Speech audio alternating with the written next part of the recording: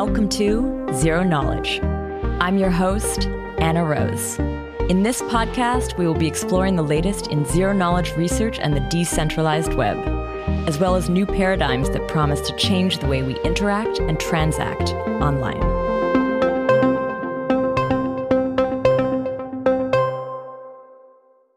This week, I chat with Alessandro Chiesa, a professor working on cryptography, complexity, and security. He is also a co founder at Zcash and Starkware. Ale has taught many of our previous guests, and in this episode, we explore some of the work that has come out of his lab. We also touch on the challenge of creating educational resources around snarks, especially since it is moving and changing so quickly. We also look at which parts of snark understanding are somewhat stable and which parts are still very much open problems to be studied further. This also happens to be the Zero Knowledge Podcast's 200th episode. And to be honest, it kind of snuck up on me. Still, I'm so excited that for this episode, we have a deep ZK topic and an expert guest. Seems very fitting. I hope you enjoy. But before we start in, I also want to let you know about ZK Hack. ZK Hack is a multi round online event with workshops and puzzle solving competitions. It's put together by this podcast and the ZK Validator. It's supported by a slew of fantastic sponsors, many of them ZK projects from the space. It will kick off a weekly cadence starting October 26, 2021. Think hackathon meets CTF meets Dark Forest round based competition. There will be a leaderboard and there will be prizes, as well as deep dive learning sessions with the best teams in the space. So do head over to the website now to join. And if you happen to be in Lisbon at the end of this month for the Lisbon Blockchain Week over there, be sure to check out the ZK Hack Party. Together with Aleo and Anoma, we're throwing this in person event a little bit as like a pre party to the ZK Hack event itself. So, yeah, do check it out. We'll be sharing links on our Twitter. Telegram we'll probably put some links in here once we have them as well. Hope to see you at the ZK Hack and possibly at the ZK Hack Party. I would also like to thank this week's sponsor, Centrifuge. Centrifuge puts real world assets on the blockchain, allowing issuers to get liquidity on their assets and investors to make safe, stable yields in the volatile crypto world. It's built on Substrate, but they also bridge between Ethereum and Polkadot. Centrifuge are currently hiring for a number of positions, including protocol engineer, product manager, full stack engineer, security, and DevOps engineer. Do check out the link in the show notes to find out about all of their jobs. And I want to say a big thank you again, Centrifuge, for sponsoring the show. Now, here is the 200th episode of the Zero Knowledge Podcast with our guest Alessandro talking all about snark research and education. So, today I'm here with Alessandro Chiesa, a professor working on cryptography, complexity, and security. He's also the co founder of Zcash and Starkware. And actually, Ale, you've been on the show before. So, welcome back to the Zero Knowledge Podcast. Yeah, thank you for the introduction. It's wonderful to be back. So, that last time that we had you on the show, you were mainly here speaking with Eli about Starkware and the research that you had done leading up to the project.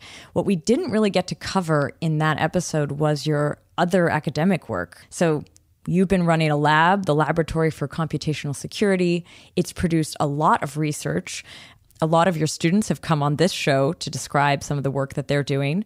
And actually, any subscriber to the ZK Mesh newsletter may be familiar with your name because you've authored or co authored a lot of the research that ends up in that newsletter.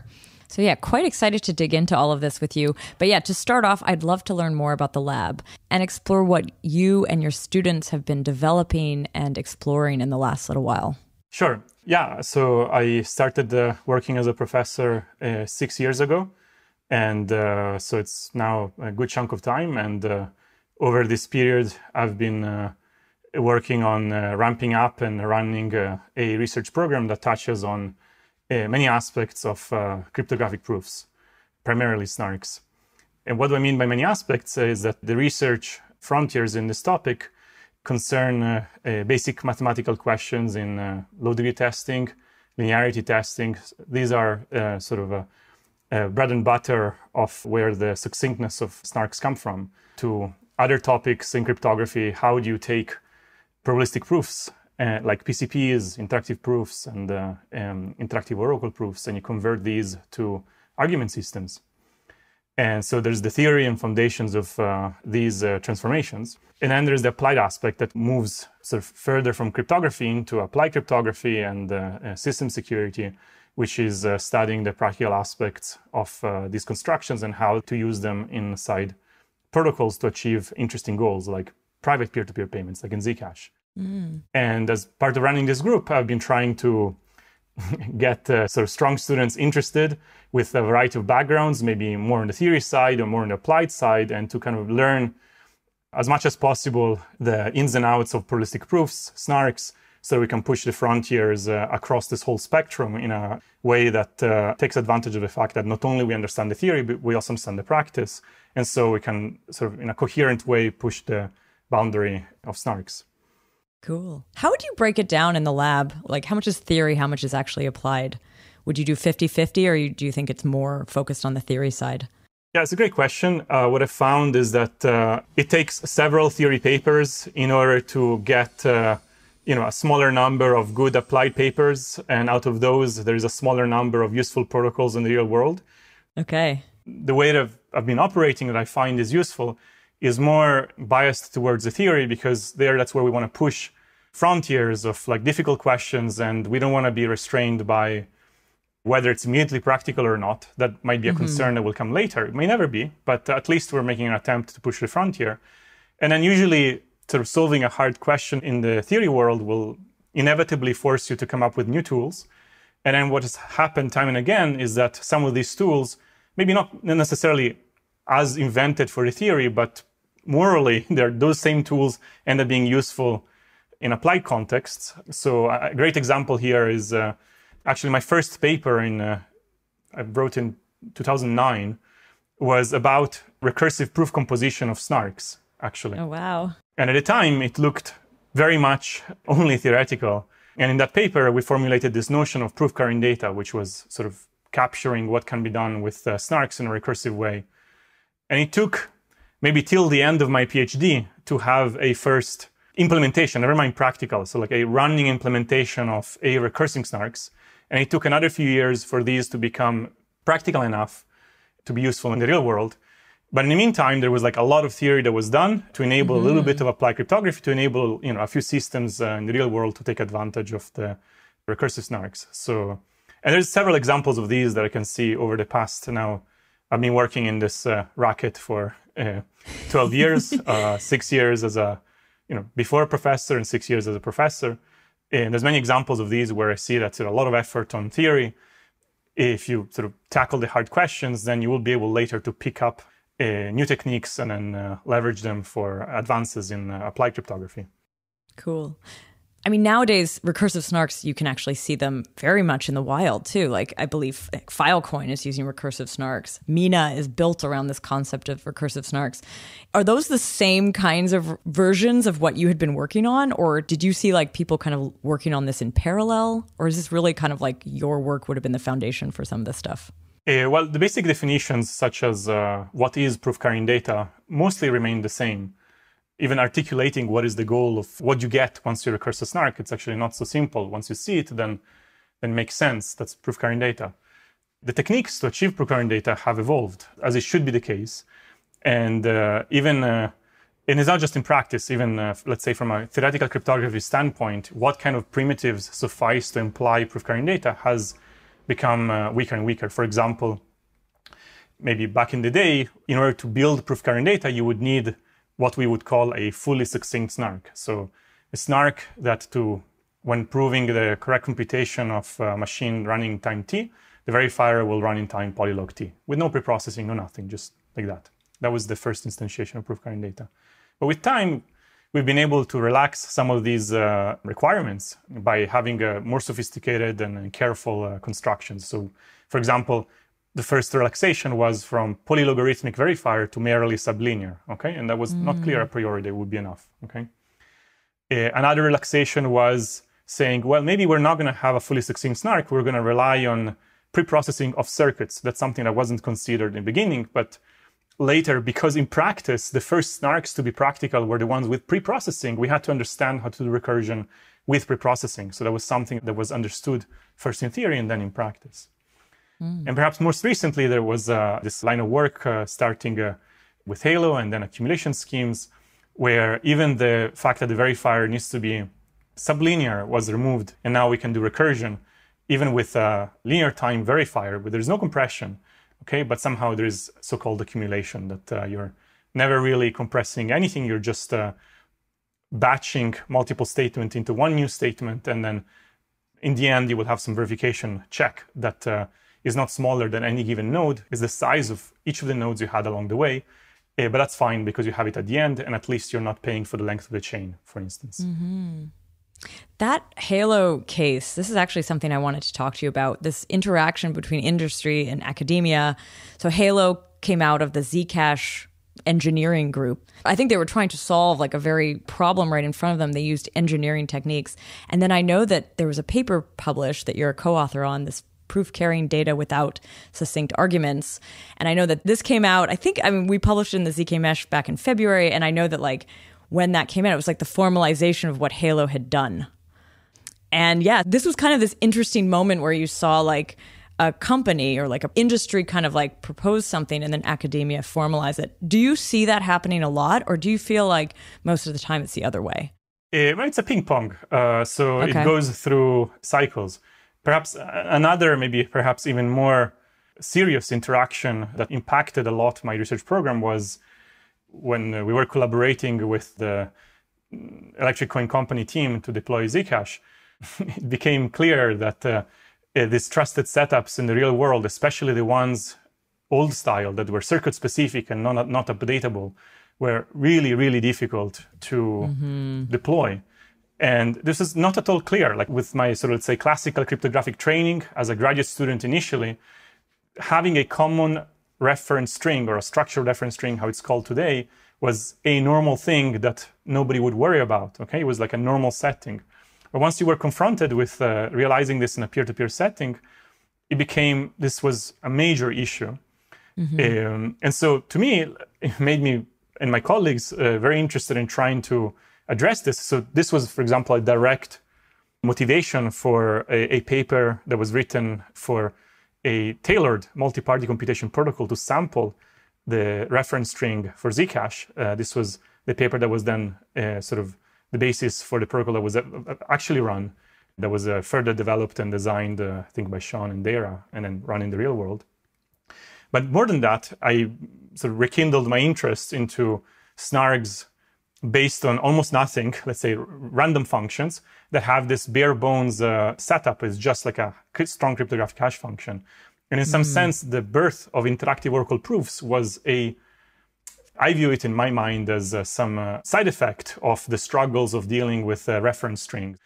I was personally motivated, and I believe some of my colleagues were as well, to kind of go back to these, what were unfortunately very expensive constructions, and what could we do about it? And somehow we, we found this way of saying, wait, what if we, instead of building PCPs, we build PCPs across multiple rounds? And this led to the idea of an interactive oracle proof, which ultimately in a span of five years from formulating the notion of an IOP and then lots of research on IOPs has led to what are now quite efficient snarks that do not really rely on any structured reference string. All you need is a hash function. To me, that was, it would not have happened, or at least I don't believe I would have worked as hard on the direction of uh, IOPs if I hadn't experienced and seen how ECC had to overcome this huge barrier of reference string. Mm. Very much of a motivator. Can you give me a little bit of an example of an interactive Oracle proof version? Like, do you still need a trusted setup, but they're just way, way more efficient? Or is this the replacement for a trusted setup when you say that? An interactive Oracle proof is the probabilistic proof that is used inside certain types of snarks. All snarks must have a trusted setup. There do not exist snarks without setup. So we can only talk yeah. about the colors of setups. Some colors are nicer mm-hmm. than others, okay? the best you can hope for is just a little bit of randomness in the sky, right? Just uh, say 100 random bits or 500 random bits that we can all agree upon were random. For example, you could pick the first so many digits of pi and call that, you know, uh, randomness. Mm-hmm. This is very easy to agree upon it and deploy it. And such types of snarks arise from using the random oracle model to compile either PCPs or IOPs, which are a translation of that. Okay. So this is the most desirable type of setup because there is no ceremony to run, right? I mean, yeah, you could run a coin tossing protocol, but nobody's going to do that. Okay. What you're really going to do instead is say, I don't know, SHA of I don't know, Alessandro Chiesa, that we're going to give you some output, and that's you know random looking enough, and nobody's going to think that Alessandro Chiesa, as a byte string, holds a trapdoor for SHA, so that it creates some uh, weird looking random string that then the snark will uh, will be broken under, right?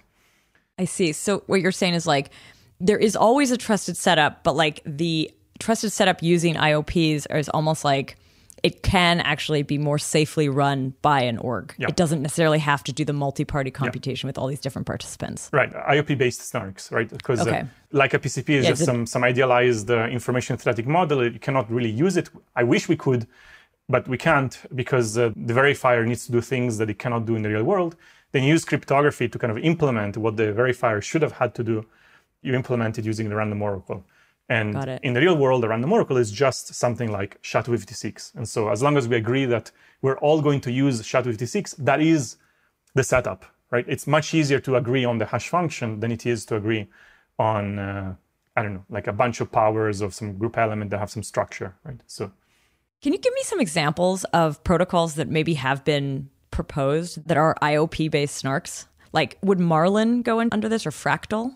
One of them that yes, and the other one not. Fractal, so, yes. Marlin, so, no. Yeah. I think. So Ma- Marlin uses uh, something that is called a algebraic or polynomial IOP. is essentially it is an IOP where we give a little bit of extra power to the verifier that rather than accessing, let's say, strings by querying locations, it accesses polynomials by querying their values.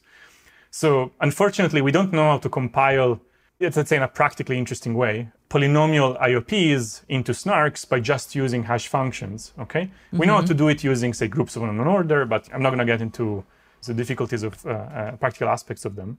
So instead, what we do is we use things like pairing or groups, prime order groups that, where the discrete logarithm is hard to compile them, and so that's what Marlin is. Okay. In Fractal, it is actually based on an IOP. Okay, it is mm-hmm. a pre-processing snark for R1CS that is obtained by taking an IOP for R1CS and compiling it with hash functions. Okay. So that one is uh, it's not used in practice. I think it's a, you know, it's a very nice protocol. It does what it's uh, supposed to do, which is uh, like a preprocessing snark for R1CS. But perhaps mm-hmm. more familiar to the audience will be systems deployed by Starkware. So cryptographic proofs are snarks that are obtained from some type of IOP. Rather, the IOP being for R1CS, it is for an, another language called AIR, algebraic intermediate representation, which is, you can think about it some sort of algebraic machine. Uh, so there's no preprocessing there. There is some sort of uniform model of computation that uh, looks like some uh, algebraic machine. So these things are, are, practical. They're running. They've been running on Ethereum mainnet for now maybe a couple of years, and um, that's one of the nice things in uh, that commercialization effort. There wasn't an issue about how you deploy the setup. Well, we just have to decide what the hash function is, and that's it. So, mm-hmm. yeah. So, we just mentioned a number of works from student of yours. These are the kinds of works and research papers that I sort of mentioned earlier in the show. But can we talk a little bit about who some of those researchers are and the type of projects and even like full fledged protocols that have come out of the work that you've been doing? Because I think what's interesting also to our audience is we've featured a lot of people who have gone through your lab uh, on this show. And so it might be cool to make those links. I have some uh, uh, projects that I very much uh, enjoyed uh, working on. One of them, uh, for sure, is uh, Aurora. This is a project with several of my students. First one is a longtime collaborator of mine, Eli Ben Sasson, which should be familiar to everyone in the audience, as well as Mikhail Riabzev, who was a student of Eli Ben Sasson, also co-founder of Starkware. And then Nick Spooner, a former student mm-hmm. of mine, Madars Virza, collaborator of mine uh, from my MIT days, and uh, Nicholas Ward, also another former student of mine. And uh, what was very cool about this project is that when we formulated the notion of IOPs, at the time we didn't really have very interesting IOP examples. Um, and uh, at some point we started thinking we were able to design some interesting IOPs, but primarily they were for uh, machine computations and the problem with machine computations is that at the time we didn't really have very good ways to encode interesting problems that people would care about, such as at the time that maybe the example was the Zcash circuit, right? As a machine computation, just doesn't look like that. There's like a, it really is more of a circuit computation, okay? And we did not have very good techniques for coming up with practically relevant IOPs for circuit-like computations. And at least in um, my mind, the Aurora paper was the first one where we were able to say, okay, here's a instance of R1CS, and we have like a direct protocol for it that we're able to implement and get some reasonable efficiency for. And uh, one of the things that we came up with in the protocol was this uh, univariate sum check, okay, which was uh, solving the problem of uh, how to convince a verifier that a polynomial sums over a big domain to a certain claimed sum, even though the polynomial has one variable, unlike the multivariate sum check well known from the 80s. And this univariate sum check was the sort of, let's say, the main engine of practicality uh, inside Aurora. And it was later used in uh, many other protocols uh, thereafter. Both Fractal and Marlin ended up using it. And uh, so it taught us a lot, even though Aurora itself, I view Aurora as an example of a theoretical exploration that actually did have some practical implementation, but it was not quite practical enough for usage. For example, the verifier was not sublinear, had a linear time mm. verifier. So it was not a pre-processing snark. But the techniques that we had to come up with to design a, an IOP for R1CS were later very influential in many of the other works that uh, we did in the research group. I was at the time very, very excited. I felt like we finally were putting our hands on techniques that uh, were going to be useful uh later on. I mean, recently we did a study club on some work you did with sum checks. Was was that in any way like coming out of this original research? Was that like the formalization of some part of it? Actually, it's uh, unrelated, but I can uh, talk about oh. that because uh, maybe it is uh, interesting. So pattern matching here. sum check like anyway. techniques play an unreasonably large role in the design of snarks, uh, primarily because snarks contain probabilistic proofs. There are ways to formalize the statement, and so and, uh, and sum check protocols play an important role in probabilistic proofs. So that's that's why they show up. And broadly speaking, what you do as a sum check how you design a, a sum check protocol depends on whether you're tackling, you want to do the sum check for a multivariate polynomial or a univariate polynomial. For the multivariate polynomial, we have an answer already from the 80s. And for univariate polynomial, we had this univariate sum check. And uh, we were interested in univariate techniques because primarily of FRI, right? FRI is a low degree testing protocol for univariate polynomials. It's very practical. That's why in Aurora, we were focusing on that. Right now, you were mentioning a recent work that I'm actually very excited about, and yeah. it's uh, it came about from a quite different um, motivation, and it has to do with uh, a work that I was not involved in, which is the design of uh, bulletproofs. Bulletproofs yeah. is a logarithmic communication uh, argument system with a linear time uh, verifier, also linear time prover, based on discrete logarithms. It's a very influential work. Uh, it's range proofs based on bulletproofs, uh, for example, used in Monero. And I was personally quite interested in that protocol because, unlike most other snark constructions out there, it does not prominently display an inner probabilistic proof compiled into a, a succinct argument. Okay, there are some ways to maybe force it out, but it feels unnatural. Mm. And at least I think that one of the difficulties of coming up with uh, maybe post quantum versions of bulletproofs were directly related to the fact that maybe we didn't quite fully understand uh, bulletproofs. And in a, in a recent work with uh, two postdocs, uh, a former postdoc of mine, uh, Jonathan Bootle, who is also co author of Bulletproofs, and Katerina Sotiraki, uh, who is currently a postdoc at UC Berkeley, formerly a student at MIT, with Vinod Vaikuntanathan we were very interested in, uh, in designing a post-quantum analog of bulletproofs. And the way we went about trying to tackle that, rather than trying to directly design some lattice-based uh, protocol, we went back and tried to understand what was really going on in bulletproofs. And we made some, what I think is a very exciting uh, sort of finding, which actually one can view in retrospect bulletproofs, literally the sumcheck protocol run on a cryptographically hard group with some consistency check at the end. And you can actually like phrase it like that. Okay. Mm. And it was just a sum check in disguise that interestingly was not run on the usual domains like finite fields, but on uh, in some basically rings. Okay. By sort of understanding the protocol at a higher level abstraction, we were able to basically push it at a high enough abstraction layer that then we could then instantiate it with completely different domains polynomial rings oh. where there are hardness assumptions on lattices. For example, a short integer solution problem is hard. Okay. I think all of us on the paper were very happy about this uh, discovery or invention because it somehow helped us explain in a coherent way, like a long line of works that was um, working on bulletproof style protocols, making all kinds of observations that were also shared by sum check-based protocols. They were talking about space efficiency or round around soundness and all these things that bulletproof style protocols were uh, having. Also, sum check protocols have, but there was no real reason, there's no clear reason why they both have these properties. Now there is one. Now you know. That's so cool. Actually, yeah, so we did a study club on that. Yeah, I'll so. add the link in the show notes so that anyone can like dig in deeper to this particular problem. I do want to go back to maybe some other projects that came out of the lab that you would like to highlight? Because I know you had a couple in mind. I'd like to maybe spend a little bit of time to talk about uh, what I consider to be the simplest snarks. Those are snarks built just from random oracles.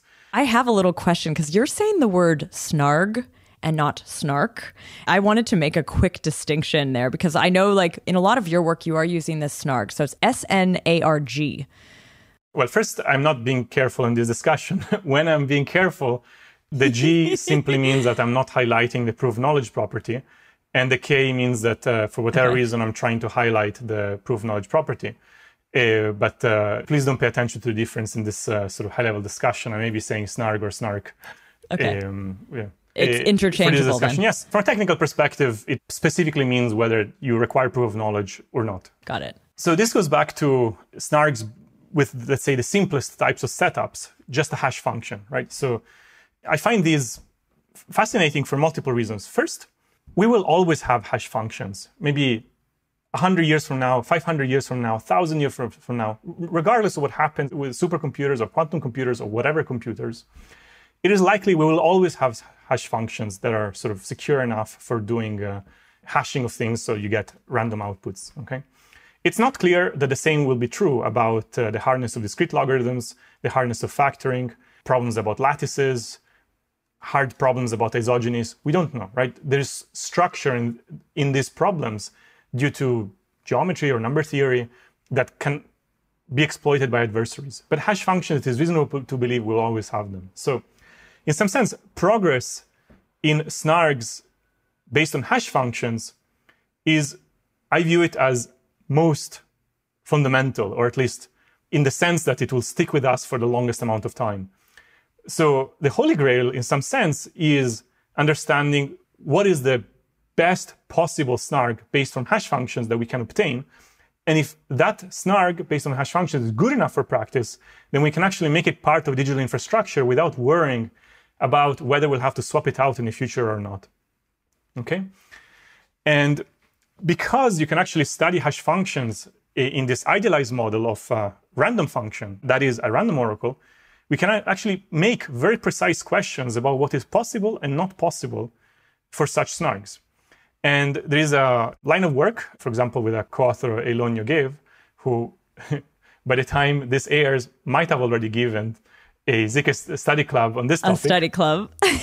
where we basically cool. study the uh, capabilities and limitations of, of, of these primitives. Uh, for example, we prove that any snarg in the random oracle model must have a verifier that makes more than a constant number of queries to the random oracle. This, in some sense, is a barrier to recursion because whenever you recurse a snarg, you will have to express the verifier in terms of elementary gates to prove things about it, right? Mm-hmm. Which means that if you have many calls to the random oracle, then you will pay more in the circuit of the verifier, okay? And so that's like a barrier that says that there are limitations to how efficient these things can be for recursion a major open question that is, uh, I think, one of my favorite questions right now is whether do there exist snargs in the random oracle model with linear size? What do I mean linear size? Linear in the security parameter. We do know that the answer is yes in other models. For example, based on discrete logarithms or based on pairings, we essentially know that the answer is yes. We have linear or nearly linear proof size. That's also why in the real world they actually have smaller size because asymptotically we actually see that. For example, Groth 16 has a constant number of group elements. Those group elements have size that is a linear insecurity parameter. Mm-hmm. I mean, you need to pick the embedding degree of the curve to be large enough, but once you do that, then it is linear. And so, in asymptotically, instead, the best snargs that we know today in the random oracle model are at least quadratic. In fact, the practical ones are closer to cubic. that's why things based on random oracles have proof sizes that are more like in the tens of kilobytes rather than a few kilobytes. That is exactly why. Is an example of that Starks then? They're quadratic or even cubic. Exactly. They're at least quadratic and a little bit more than that because, yeah, there's Okay. other reasons. And so that's why you, you see this like maybe 30 kilobytes or 40 kilobytes rather than two kilobytes, okay? Like once you have ironed out your concretely efficient constructions, the asymptotics speak and you will feel them in the real world, okay? And so there's a fundamental question, you know, is it possible, let's say, to have maybe a long time from now, a one kilobyte Stark, right? Wow. that question is basically, in some sense, are there snarks in the random oracle model with linear size?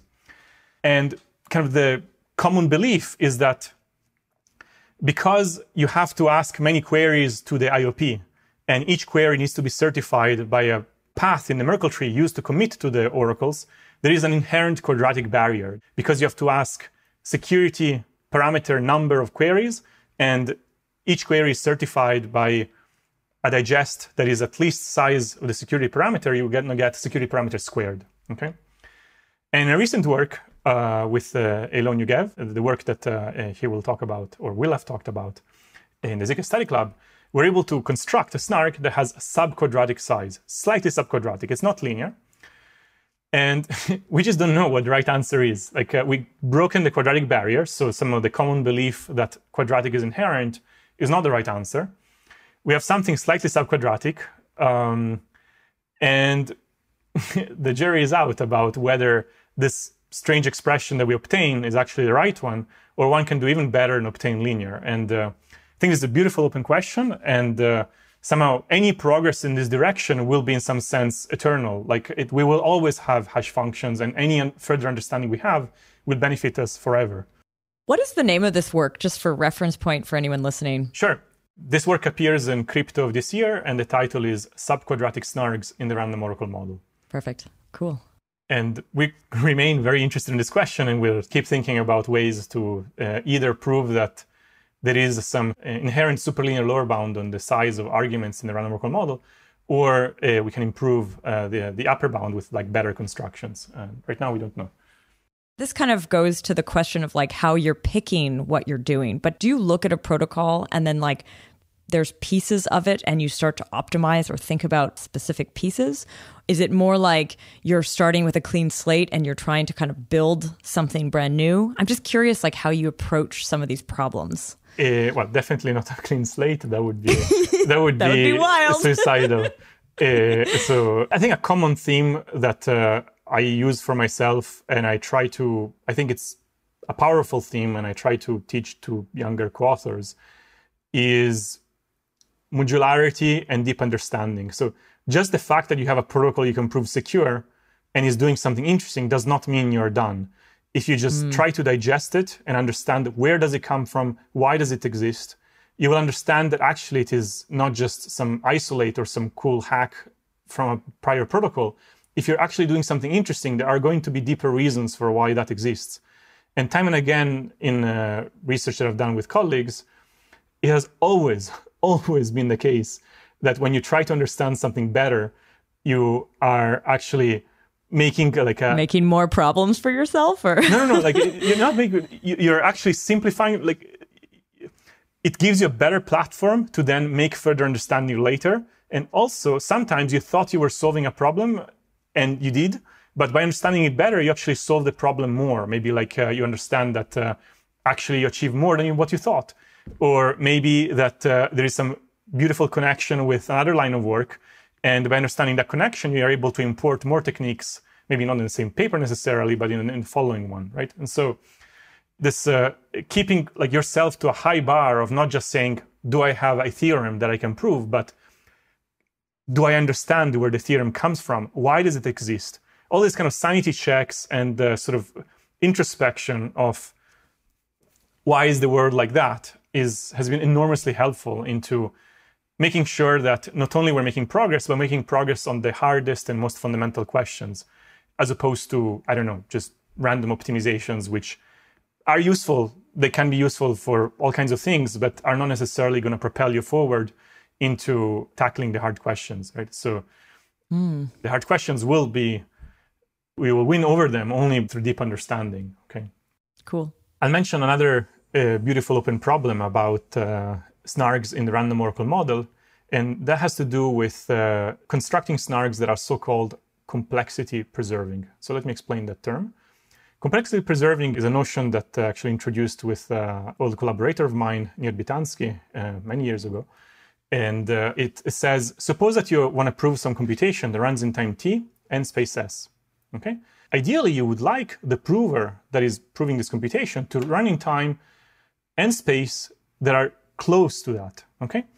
What typically people do in snarks is to say, no, no, no, like we want the time to be close, and then we sacrifice space. So, for example, anytime you use an FFT, fast Fourier transform, your space efficiency may go out the window because you will have to write everything down and then compute on it. And so if your algorithm was running in a small space, I mean, the computation you were proving was running in a small space, then you've lost that.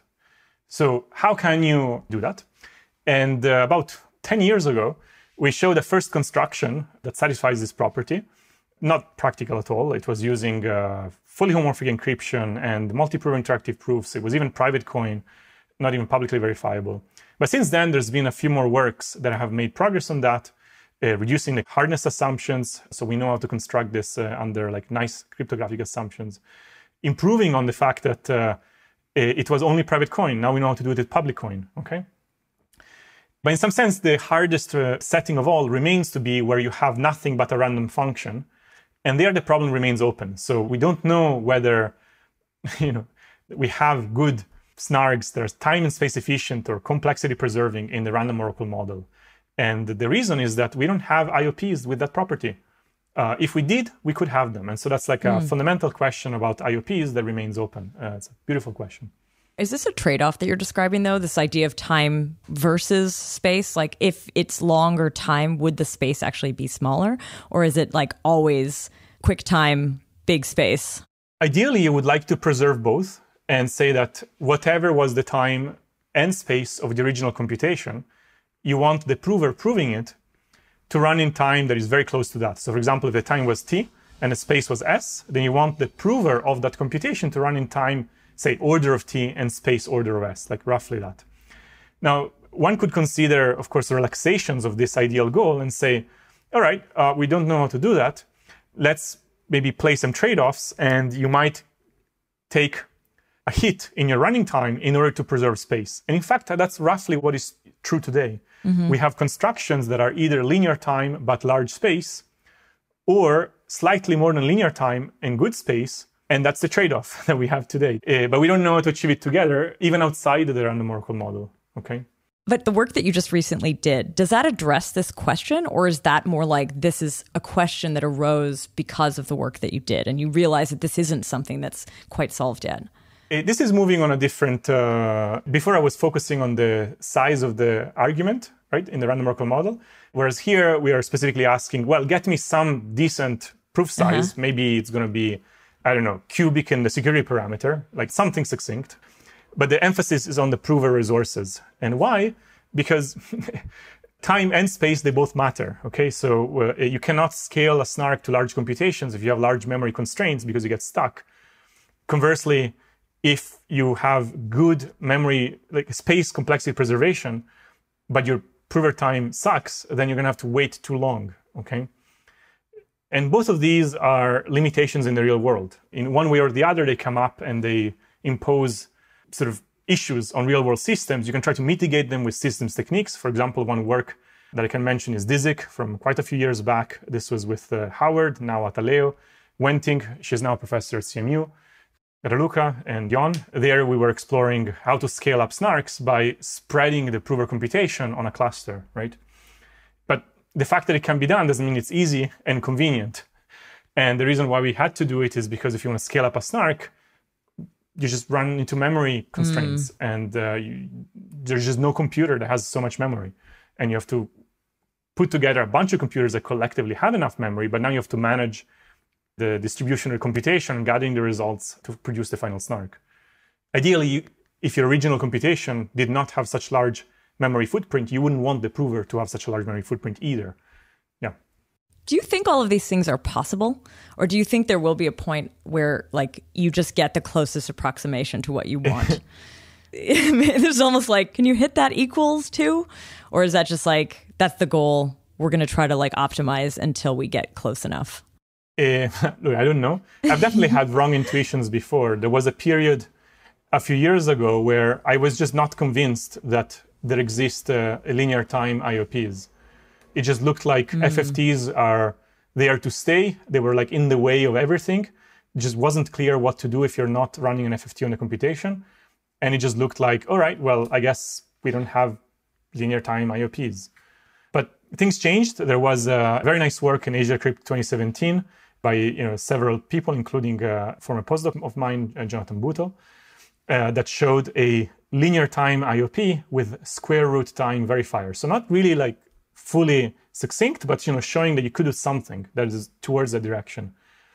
And uh, then in a paper with Jonathan and Jens Groth, a couple of years ago, oh. we were able to bring this down from square root to any root. So like cube root or fourth root, or and more recently we were able to get polylogarithmic. So now we have a linear time IOP with polylogarithmic verification, at least for computations that are algebraic over large fields. The question for Boolean computations is still open. This was something that I did not have the intuition was possible, but somehow in the end we do have a good understanding why they're possible. so these things have happened several times in my career, and at this point mostly I suspend my judgment. I just try to follow what seem to be the most interesting leads for a positive or negative result. Sometimes it's a negative result, like with the paper with Eylon proving lower bounds on the complexity of the verifier in SNARGs in the random oracle model. That was bad news, okay? Uh, but uh, sort of gathering intuition from the is it a negative result or is it a positive result is actually a useful back and forth, okay? Because uh, if you get stuck proving a negative result, that may give you like a possible uh, progress or attack or approach on the positive side, and vice versa. If you kind of really get stuck on a positive result, then you might be able to somehow formulate a barrier that says, mm-hmm. as long as you will use these techniques or this approach, you cannot do better than that, right? So it's a very useful research uh, trick or strategy. Yeah. It's almost like you're framing like known possibilities, but like they don't work together yet. But this is a space that could be developed. Like we know we can do this in this context over here. Can we bring that into yeah, the yeah, context that we're reason, trying to yeah. solve in? I'll finally mention maybe two works that are not about constructing new protocols, rather, they're about proving existing protocols, let's say, more secure, and specifically having to do with uh, quantum attackers, quantum adversaries. And here, snargs based on hash functions were have been widely believed to be post-quantum in some way, because mm-hmm. if the hash function is post-quantum, why shouldn't the whole protocol be post-quantum, given that is the only cryptography that comes into the protocol? And I will not talk much about these, but I'll just mention that uh, over the past few years, there has been nice progress into formally understanding the post-quantum security of these protocols into two settings. One is a paper from uh, two years ago. It's called Succinct Arguments in the Quantum Random Oracle Model. This was uh, with uh, two students, uh, Peter Manohar, and now at CMU, and uh, Nick Spooner, where we were able to prove that uh, constructions in the random oracle model based on PCPs and IOPs, for example, the ones used in Starkware, are formally secure in the quantum random oracle model, which is a, the model where attackers can query the random function in superposition. And so now we know that gives us much stronger evidence that yes, the intuition of post-quantum security of these protocols really is there. And more recently, there's a paper with uh, Fermi Ma, who is now a postdoc at the Simons Institute at UC Berkeley, again, Nick Spooner and Mark Zhandry, where we studied the so this is not in an idealized model. This is like in a sort of a, what cryptographers call the plain model. So it's an interactive succinct argument. This is called Kilian's protocol where you compile a PCP using a collision resistant hash function into a four message public coin succinct argument. The classical proof of security involves rewinding the adversary, but rewinding is difficult with quantum adversaries uh, because when you start going back and forth and measuring, then the adversary notices that he is leaving uh, in a security reduction rather than wherever he was living, and then he stops working. Okay. And in this work, with uh, lots of hard work by the, the, the, the two students, uh, Fermi and Nick, they really did a fantastic job. They developed new techniques for rewinding quantum algorithms. And now we do understand that uh, also in this interactive setting from plain collision resistant hash functions, or in quantum, these are things that are called collapse binding hash functions. We do understand post quantum security. And this is a long standing open problem. And so this is basically with time, we are obtaining better and better foundations, not just for now, but you know, for the long-term security of these uh, uh, snarks, which are more and more part of digital infrastructure, and mm-hmm. we need them to not just be, yeah, it looks secure, or yeah, it proved it secure classically, but it should be post-quantum secure. We really need to go through and uh, put all the bricks of all the foundations, uh, because if they're here to stay for a long time, especially the ones based on hash functions, they will be with us for all I know, for hundreds of years. We need them to be like really understood. Yeah, so uh, I will not say more. If you're interested in post quantum security, then those are two works that uh, you can look into. Cool. This actually leads us a little bit into a topic that I wanted to talk about with you, and that is teaching all of this stuff, teaching snarks, teaching zero knowledge techniques, and like basically breaking down these systems to be learned and understood you just mentioned like you know there's certain things like hash functions you can assume will be with us for a long time but then there's also other techniques that are kind of like they come they might not be used they might be found to be less efficient. How does that impact the way you teach? Like how can you create a syllabus or like maybe an online course that you hope would like last the test of time if this is changing so quickly? Um, yeah. This is a complex problem this is the problem. and, uh, there are various things to say here. First, uh, snarks are a rather technical area in the sense that they involve knowledge that uh, touches upon computational complexity, cryptography, and possibly also applied cryptography. Uh, so, like you know, sort of an understanding of how algorithms such as multiscalar multiplication or fast Fourier transforms or other things perform in the real world. On and uh, so, because it touches on so many areas, it's a bit of a challenge to train students and uh, sort of uh, bring in talent uh, who is in principle interested to understand this area, but then needs to be someone initiated. And so, in my own uh, experience as a professor, I'm also an sort of educator, both of uh, my own students uh, in the group and more broadly, like in classes. I've been confronted with this problem very much directly. In particular, when I started as a professor, it was this tailored training where I would talk about what I know to students in my office. Oh, yeah. And then if a new student would come, I would have to say that again. And it would be like a very time consuming process for students and for me to communicate this knowledge. Over time, it has gotten better. I've had sort of several efforts in this direction. One effort that has, I think, come a long way is to basically take the part mm-hmm. of snarks that only has to do with computational complexity. So that is designing probabilistic proofs. I view it, in my opinion, as the technically most complex part. And designing a course around it. This is a course that uh, I've taught now three times in semester courses and a fourth time in a summer school. And I've been trying to digest and reorganize a mix of uh, foundational techniques and uh, modern protocols by trying to select for the ideas that seem to be most useful, most uh, productive, most uh, flexible, and leaving out maybe ideas that uh, they were maybe useful and led to nice papers, but did not seem as kind of impactful. Okay. And uh, mm. what gets selected and how does it get organized? Uh, it's uh, mostly a question of experience and having an understanding of what's more foundational and what's less foundational. And um, yeah, it's, it's, challenging, but we've come a long way. So now, for example, if you're interested in understanding probabilistic proofs, there is almost a course that is on autopilot that you can run. I guess Anna will uh, put in, uh, in the description a link to this uh, summer school from this past July, for sure, where there are 20 lectures with 20 problem sets that will teach you about interactive proofs, PCPs, and IOPs, or at least what I consider to be the most foundational techniques and ideas for having a precise and deep understanding of this area. Now, there's probably another 10 or 20 lectures on top of those that one could put with other mm-hmm. very useful things, but not much more. So this really does cover a lot.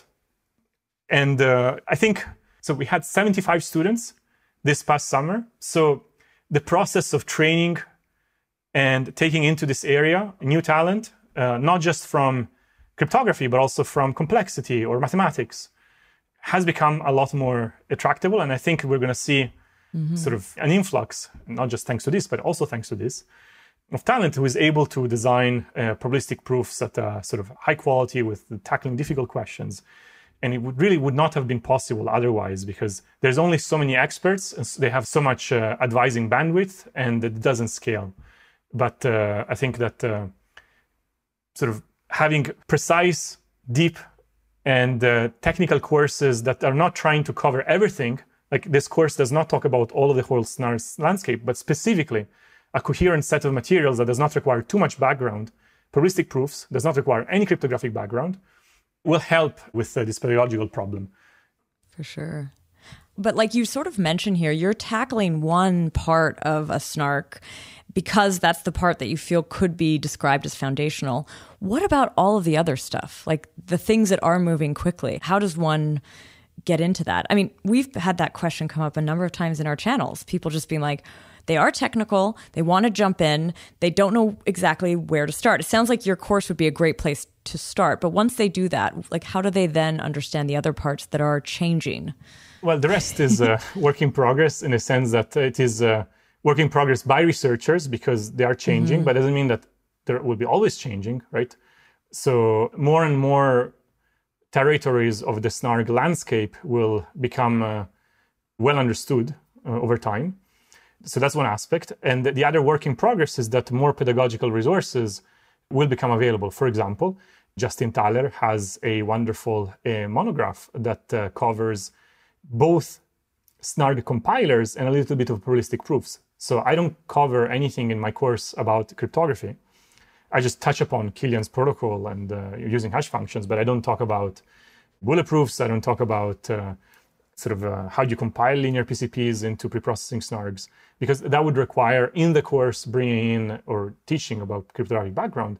But Justin has done a wonderful job assembling an extensive monograph that will help people uh, sort of understand the other parts that are not covered. And over time, this work in progress will mean that uh, experts might be finding opportunities to systematize, digest, and, and represent other pieces uh, necessary for uh, a full understanding of this area.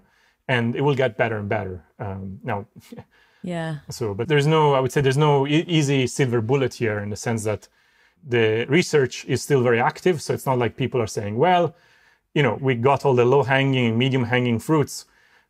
Let's just go and write books and tutorials because there's nothing better to do. Um, in my research uh, group, we have plenty of exciting things we're always working on, and it seems that just they keep coming. And so um, the resources towards pedagogy are more an active effort, but they're not like the the majority of uh, one's time because you know that's how it is. Uh, I feel like this thinking though intersects with the idea of standards like ZK standards, standardization, sort of like decisions that like this is what is going to be used for now. Maybe that is more on the implementation side of things, but I know that there's a group like ZK Proofs, they do workshops and they actually focus on standards. And I did wonder from where you're sitting, like what do you make of standardization bodies? Do you feel like those are good for research, bad for research? Like, yeah, how, how would you like do you want standards? Does that even factor in? I think standards okay. are wonderful, but they're more for industry, right? So I, I wouldn't say that uh, from a research perspective they carry like a, a large um, sort of uh, impact. Uh, and you can see this also. Forget yeah. SNARKs, you know, sort of standards for encryption, standards for digital signature. They're not so much about uh, sort of uh, making the life of researchers easier. Rather, it is more about coming up with the references that practitioners can uh, uh, look up and not have to directly consult with uh, experts of the area, right? Mm. And similar for pedagogy, sometimes getting certain ideas across is not about what is the most efficient protocol, but rather what is the simplest protocol that captures the use of that idea to achieve a certain goal. And that helps you understand what is the power of that idea. Okay. And so then you feel it and you're able to use it in other places. For example, you may be able to effectively use it to design practically efficient protocols. So in pedagogical resources, there is more of a push towards examples that illustrate challenges and how you overcome them with uh, specific ideas. Okay. But then those have to be presented in sort of the cleanest, most uh, sort of uh, unconcerned place, right? You shouldn't have to worry about other issues like how are you going to implement it? You know, how is it going to be efficient? Because you're trying to get across the power of a certain tool or what is a certain definition about uh, uh, about and how to understand it. So, and uh, for researchers and even practitioners, before they get to implementing, they want to understand what they're operating with, what they're working with. That's what you want, right? So that's uh, pedagogy is about uh, digesting, redigesting, redigesting, redigesting until it kind of explains itself, right? So, um, like for example, things that are topics in undergraduate textbooks for standard courses are there because they have been digested a million times and there are very effective ways to understand and motivate them and explain them to the point that people in their second and third year university can absorb them. Mm-hmm. it does not mean they were always like that. They were potentially much more complicated embedded in not clear settings maybe with additional bells and whistles that turned out they were not so important in the end but there was a core idea that was much simpler so something like that has to happen for snarks to create some sort of syllabus that will be widely accessible. And uh, what I've been trying to do with this course on probabilistic proofs is doing that thing, not for snarks, but specifically for probabilistic proofs, cool. where snarks are one of the major applications. And the course has gone through various iterations, and uh, at least I've learned a lot about uh, what works and what doesn't work, what is core material and what is less core material. So, I, yeah, so it's a bit different than standards. One kind of last question that I have for you is what is your motivation in doing this? Like, what is the thing about teaching, maybe specifically this, that excites you? Uh, I would say impact on uh, students. So I think that these topics around the succinct arguments and the probabilistic proofs are beautiful, they're powerful, they're challenging, and uh, there's lots of talent out in the world. And uh, if uh, I can uh, improve the mechanisms and materials that bring in more talent, more people to think about these questions and uh, catalyze uh, faster progress in this area to maybe answer open questions uh, earlier than later, to then cause more technology transfer of these ideas, um, maybe even far beyond blockchains.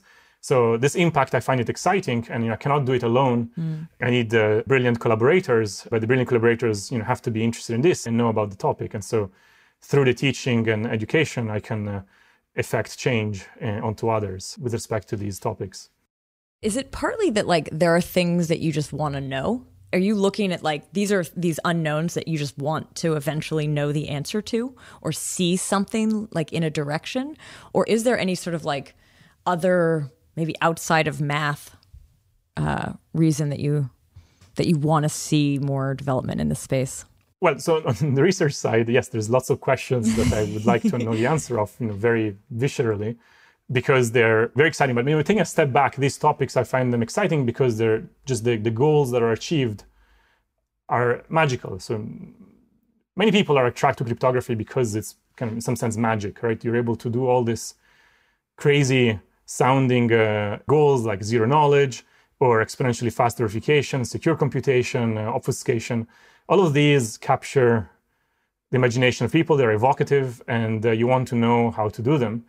In my particular case, I find uh, this exponential speed up in verification or computation to be, you know, it's, it's beautiful and awesome.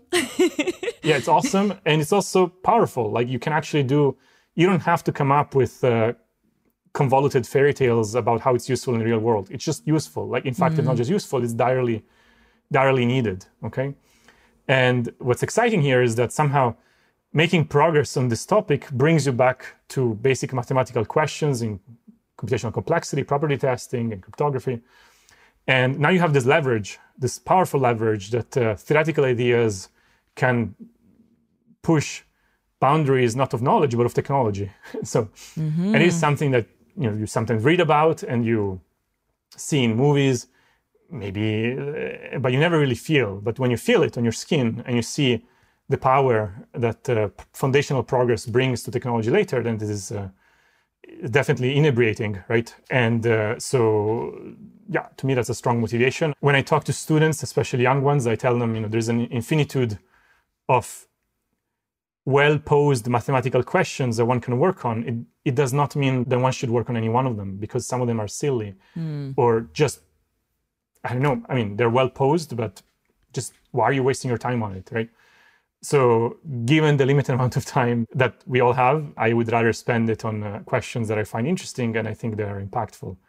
Do you ever have any concerns about some of the like cryptography? Like, would you ever be worried about something you built being used for bad? Does that ever come into your mind, kind of from the research side? Yeah, it's not like uh, I'll make an analogy, right? So people always say, "Oh, a knife, right? You can use it to you know cut vegetables or people right but i think the analogy here is more about uh, the raw materials for protocols right so maybe the wood that makes up the knife or the, the yeah. steel that makes up the knife so snarks are so foundational that you know they are currently being used in certain protocols but i think eventually will be used in all kinds of settings and they're such totally. a basic building block that uh, at least the way i feel it in my mind is uh, just so foundational that i don't really come up with considerations of sort very different is to say if you start designing protocols that are achieving specific things. For example, there are legitimate questions to be raised about, uh, say, private peer-to-peer payments, like a Zerocash protocol, right? And so then the, the way to address them is to say, well, you know,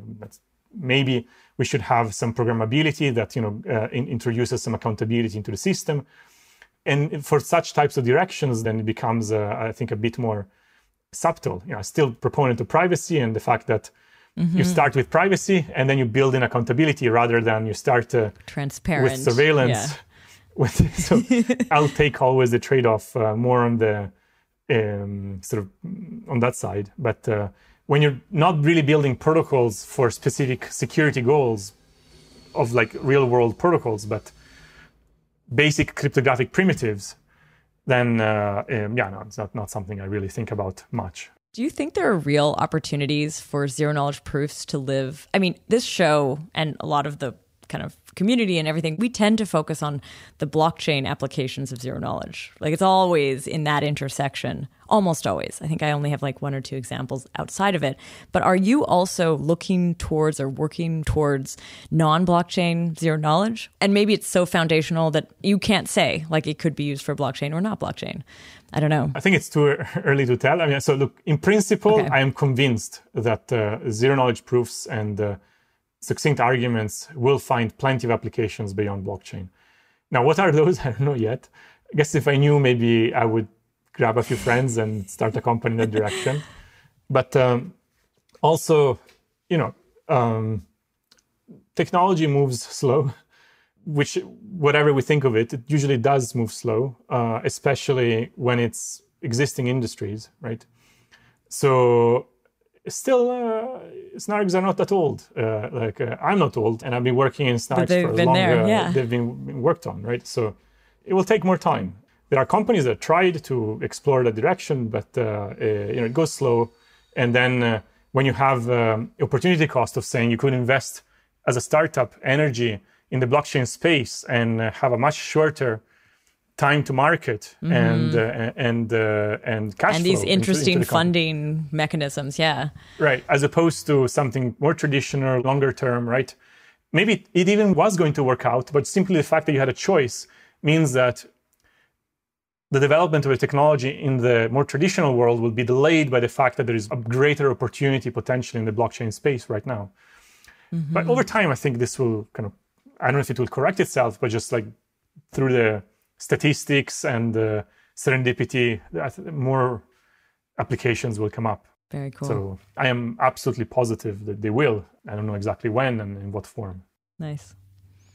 Ale, thank you so much for coming back on the show. Yeah, no, thank you so much. It was uh, lovely to be back. It's always uh, a lot of fun uh, to chit chat about uh, snarks with you and uh, there's plenty of things that we could have talked and we didn't have time but uh, for the audience if they're interested to follow more of the research uh, coming out of my research group then uh, you can sort of google my name and find my webpage it's usually up to date in terms of recent papers you can also look up the um, summer school and the videos and problem sets there and uh, I continue to do research, and some of my students have graduated. And uh, as always, I'm looking for strong and brilliant uh, students and postdocs who may be also interested in probabilistic proofs and succinct arguments. So if you're interested to talk about opportunities to work with me, I can hire you if there is a good match.